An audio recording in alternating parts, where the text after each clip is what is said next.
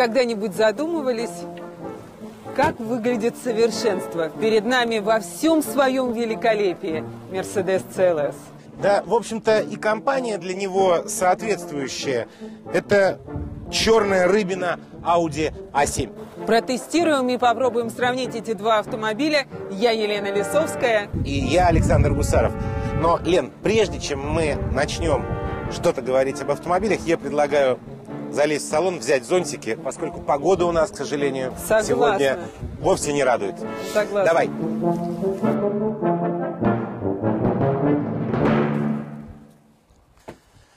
Лен, смотри, как интересно. Э, Получилось, что мы не договаривались, не А знали. зонтики подстать.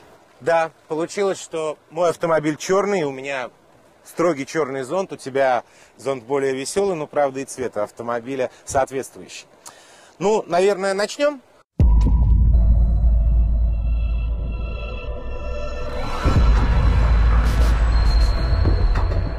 Первый CLS появился на рынке в 2003 году. И это был тот редкий вариант, когда концепт-кар практически не отличался от серийного варианта. Ну, Audi проделал путь не менее тернистый и, в общем-то, недостаточно длинный, на мой взгляд, потому что от создания концепта, который, кстати, так и назывался концепт Sportback, до готового автомобиля прошло совсем немного времени. Концепт представили в 2009, в 2011 мир увидел готовую машину.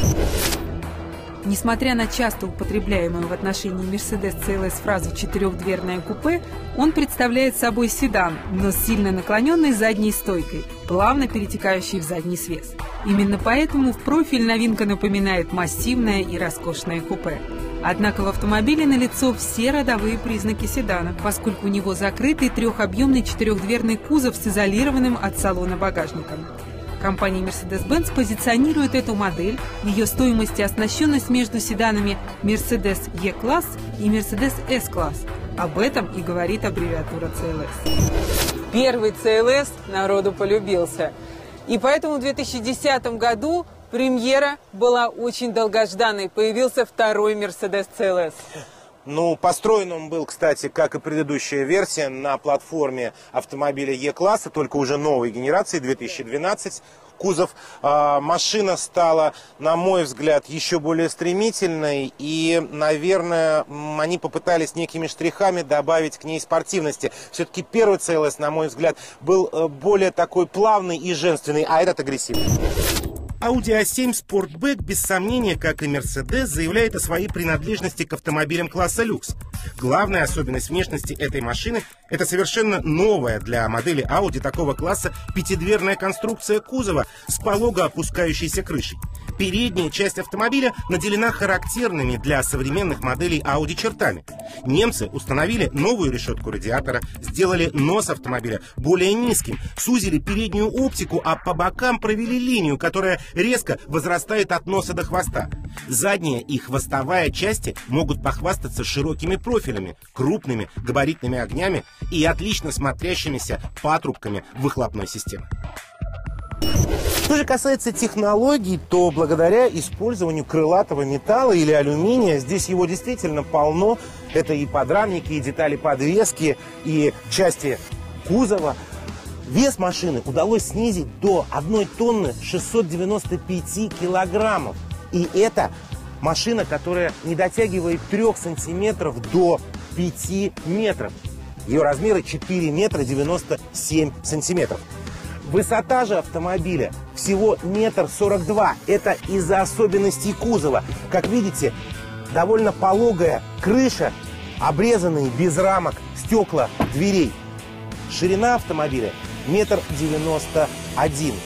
И в принципе, я считаю, что э, для спортивного автомобиля, псевдоспортивного автомобиля, это самое то. Ну, а теперь, я думаю, стоит поговорить о багажнике.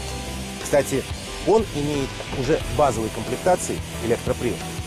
Уже из самого названия автомобиля, но, наверное, для тех, кто хорошо знаком с Audi, можно будет понять, что это не просто пятидверное купе, как его иногда позиционируют. Это все-таки пятидверный хэтчбэк. Как видите, пятая багажная дверь здесь поистине громадна. И она открывает доступ, на мой взгляд, великолепный багажник. Погрузочная высота, платформа этой машины, в общем-то, позволяет загружать сумки э, довольно легко. И я думаю, сделать это будет просто не только мне, но и хрупкой девушке. Э, это действительно здорово, и в этом автомобиль, безусловно, превосходит своих основных конкурентов. Впрочем, про багажник мы поговорим еще отдельно вместе с Леной и расскажем о функциональности этого предмета. А мне остается добавить, что в базе автомобиля Audi A7 снабжается 17-дюймовыми колесными дисками. Но не расстраивайтесь, это еще не все. Опционально вы можете заказать колеса 18 дюйма, 19 и, чтобы уж совсем поразить окружающих, заказать огромные 20-дюймовые колеса. Линейка двигателей для нового Audi A7 включает 4 мотора V6 с непосредственным впрыском топлива. Это трехлитровый турбодизель о 245 лошадиных силах и два бензиновых Атмосферный мотор рабочим объемом 2,8 литра мощностью в 204 лошадиные силы и трехлитровый, оснащенный турбонаддувом мощностью в 310 лошадиных сил. Самая мощная модификация с 300-сильным мотором 3 литра TFSI ускоряется от нуля до сотни за 5,6 секунды, а максимальная скорость, ограниченная электроникой, составляет 250 км в час.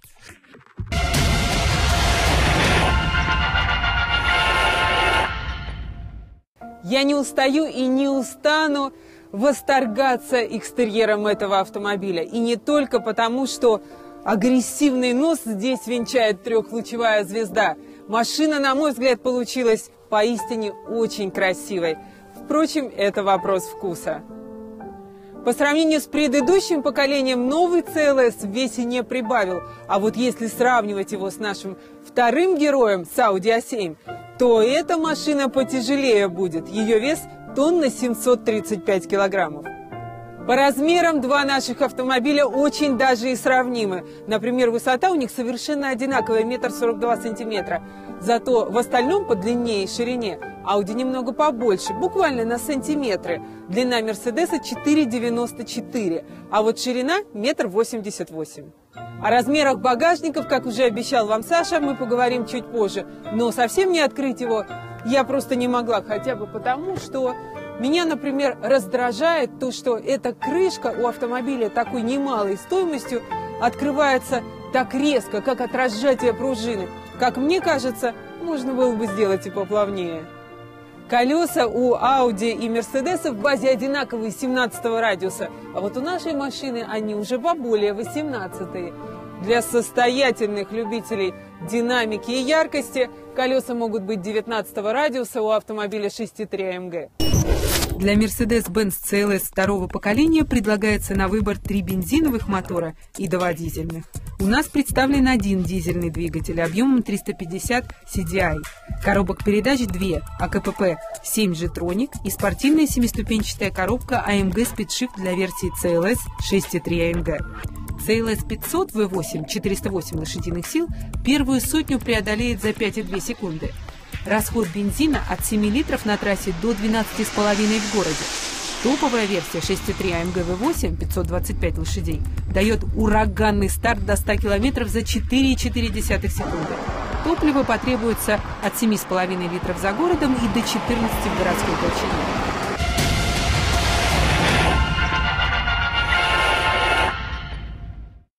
Чтобы попасть в салон Mercedes CLS, нужно открыть такую же, как у Audi, эффектную дверь без рамки. А когда попадаешь внутрь этого автомобиля, в салон, сразу становится понятно, что в данном случае производитель старался подчеркнуть принадлежность машины к более высокому классу. То есть это в салоне не совсем Е-класс, в салоне это скорее S. В этой машине есть практически все, что изобрел современный автопром. А, хотя, правильнее, наверное, сказать не есть, а может быть. В данном конкретном автомобиле комплектация очень богатая. Например, многофункциональный руль регулируется и по глубине, и по высоте. Регулировка, естественно, электронная. А, но бывают автомобили и почти базовой комплектации – Например, дисплей на центральной консоли может иметь величину от 14,7 см до 17,7 Ниже разместилась музыка от простой, штатная магнитула с 20 CD и 9 динамиками, до навороченной с акустикой Harman Kardon с 12 динамиками, навигатором и управлением голосом. Надо сказать, что Mercedes часто далеко не первый автомобиль в семье, а второй или третий. Ну а первый-то автомобиль при этом тоже Мерседес. И для таких водителей, которые часто пересаживаются из одного своего автомобиля в другой, э, в CLS как раз-таки все очень удобно, так как основные органы управления автомобилем, они сочетаются и перекликаются с другими моделями концерна. Например, климат здесь точно такой же, Управление положением сидения тоже, да и много общих элементов присутствует. Приборы расположились в трех глубоких колодцах. В центральном дублируются данные бортового компьютера, что очень удобно, так как они находятся непосредственно перед лицом водителя. Что же касается настроек положения сидения, то мне при росте 175 их более чем достаточно. Единственное, что я заметила, если вы любитель ездить с очень высоко поднятым сидением, то в самом высоком положении при моем же росте я буду постоянно биться головой об крышу, так как у четырехдверного купе она очень покатая. Все кресла имеют подогрев, вентиляцию и даже массаж в зависимости от комплектации. Боковая поддержка здесь просто отличная. Кстати, она может быть динамической. Это означает, что при резком повороте вы почувствуете бок вашего тела активный поддув. Это удобно, но на любителя. Опять же, это опционно. Ну а заглянем-ка теперь в Audi. Говоря об эстетике кузова, мы немножко сами себе лукавим. Ведь э, видим машину мы в лучшем случае, когда подходим к ней или выходим из нее. Но большую часть времени мы все-таки проводим внутри машины. Вот смотрите, двери Audi A7 снабжены доводчиками. Пустячок, а приятно. Не надо ими сильно хлопать, достаточно просто прикрыть, и дверь услужливо закроется. Говорить о панели приборов, которая решена также в несколько, на мой взгляд, футуристическом стиле, можно лишь активировав зажигание автомобиля. Для этой цели не нужно пользоваться ключом, есть система электронного зажигания через кнопку «Старт-стоп». Панель сразу оживет, перед вами выскочит довольно большой дисплей системы мультимедиа или по технологии Audi, называемой MMI. Естественно, мы ждем от столь недешевого, конечно, автомобиля, что в отделке салона будут использованы очень высококачественные дорогие материалы, и они здесь есть. Это и алькантара, и кожа высокого качества. Посмотрите, даже руль обтянут двумя сортами кожи. В местах правильного хвата она перфорирована, как, собственно, и рычаг селектора КПП. Но единственный минус, наверное, э, кому-то покажется, что сама панель приборов не обтянута этой же кожей. Впрочем, на мой взгляд, это ее совершенно не портит. Также вставки могут быть из алюминия, как в данном случае, карбона, как в линейке S7, или полированного и неполированного дерева.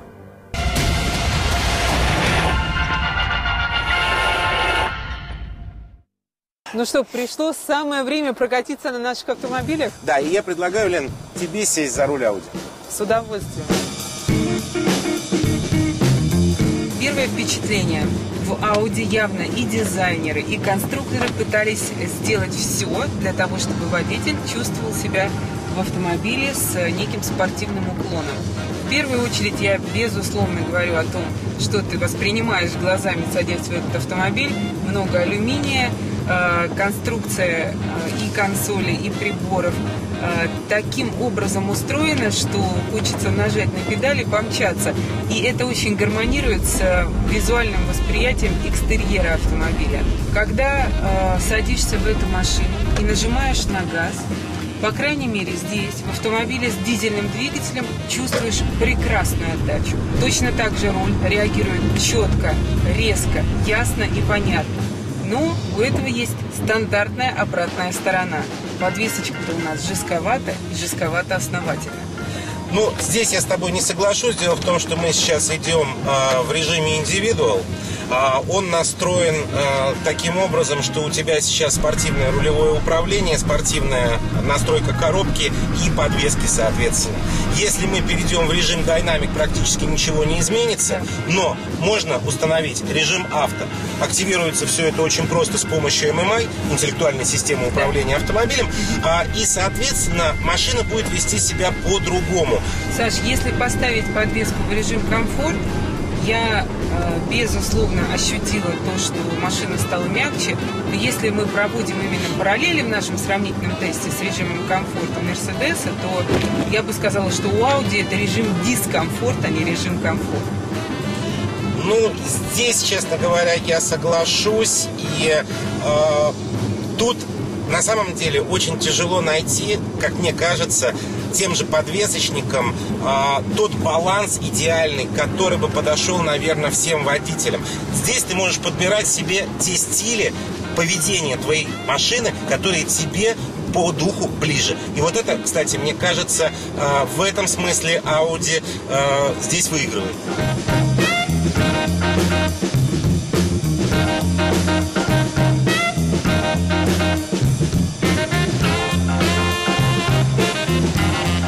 Касается трансмиссии и работы мотора, их согласованных действий, ты правильно заметила, и здесь я с тобой согласен на все сто процентов. Это очень достойный автомобиль, очень достойно настроена коробка передач. Самое главное, что нет трансмиссионных ударов.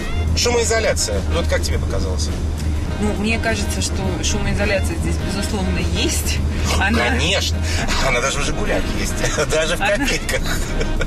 Она, в общем, на хорошем уровне, но э, она на уровне немного не дотягивающем до идеального. Э, здесь, э, в нашем сравнении, на мой взгляд, все же выигрывает Мерседес, в котором мы сейчас обязательно осуществим нашу пробную поездку.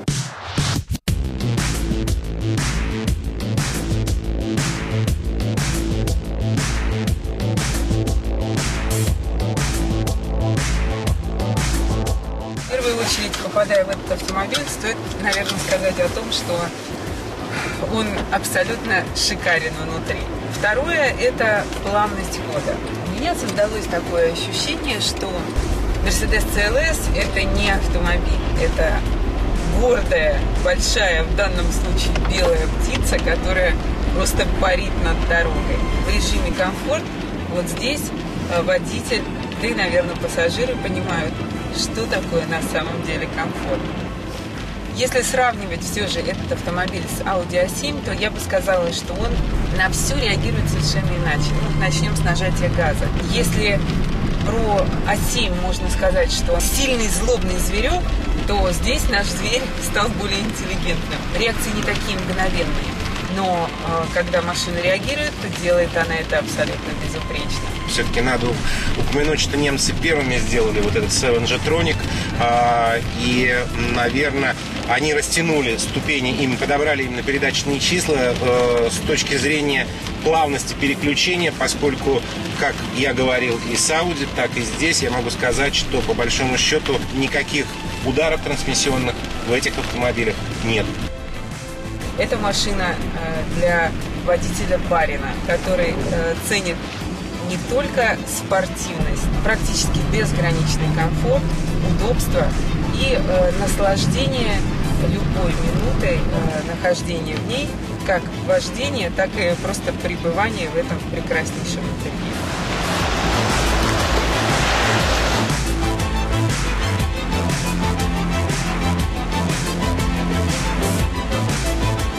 На чем Мерседес всегда пытается экономить, это на сиденье. У нас машина снабжена, э, слава богу, таким количеством систем динамической боковой поддержки в поворотах. То есть валики специально надуваются. Вот сейчас мы поворачивали налево, надулся правый валик, чтобы мое тельце, не дай бог, никуда не выскользнуло. Такое не маленькое, но мало ли. В общем-то, э, регулировки, массаж и все это. Тем не менее, вот некий дискомфорт, э, я даже не знаю, оно по-немецки жесткое, да, оно классное, хорошее, но вот чего-то в нем не хватает. Резюмируя наши э, поездки на этих автомобилях, я могу сказать, что это все-таки разные автомобили. Разные по своей идеологии, разные по настройкам, разные по не только отделке, но и подходу к проектированию а, архитектуры салона, архитектуры кузова. А, они хороши эстетически оба. Оба доставляют удовольствие. Оба доставляют удовольствие от вождения, оба доставляют э, массу положительных эмоций. А, наверное, в таких автомобилях это самое главное.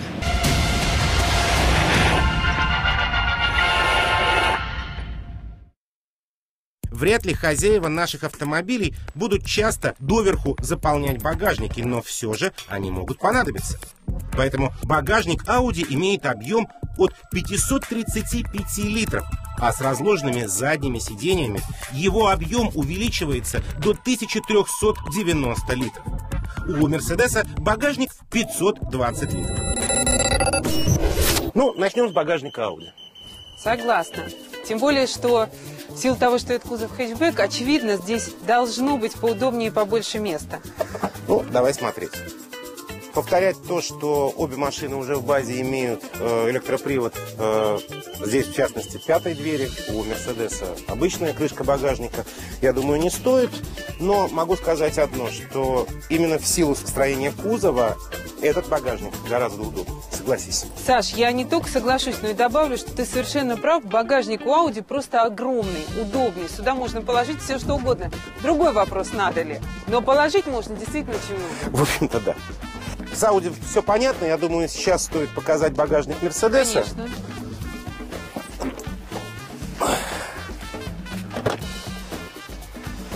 Здесь, конечно, даже визуально видно, что багажник у Мерседеса поменьше и чуть менее удобный. Зато здесь есть такая прекрасная вещь. Да. Это вот эта вот полочка.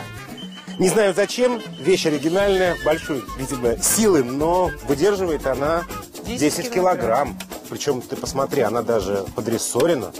В общем-то, мы можем увеличить ее.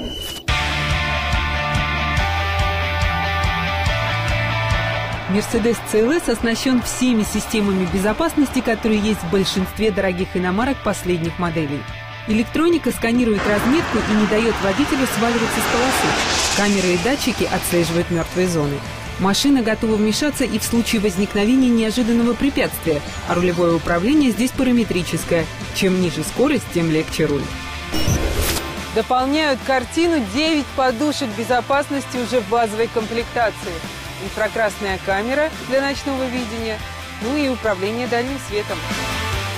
Электронным средством помощи водителю у Audi A7 можно отнести систему Audi PreSense, оценивающую обстановку на дороге и рекомендующую водителю выполнение тех или иных действий во время движения. Существуют также специальные электронные ассистенсы, например, комплекс Audi Line Assist, помогающий в случае, когда автомобиль начинает самопроизвольно уходить с полосы движения. Audi Side Assist обеспечивает безаварийное перестроение с полосы на полосу, то есть он мониторит мертвые зоны.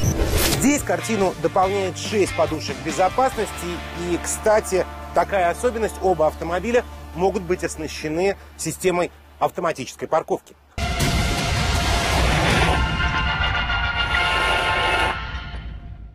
Базовый Мерседес стартует от суммы в 2 миллиона 850 тысяч рублей. И за эти деньги вы получите автомобиль э, с бензиновым двигателем 3,5 литра.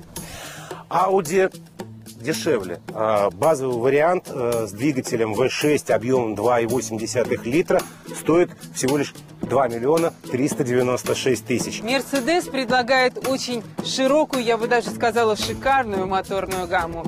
Например, вот этот автомобиль 500 с мотором 4.6 стартует от 4 миллионов рублей. А вот следующий э, 6.3 AMG с мотором 5.5 от 5 миллионов рублей. Но мы с Сашей назвали вам базовые комплектации. Пределов совершенству, как мы уже говорили, нет. Ну и пределов по стоимости тоже практически не наблюдается.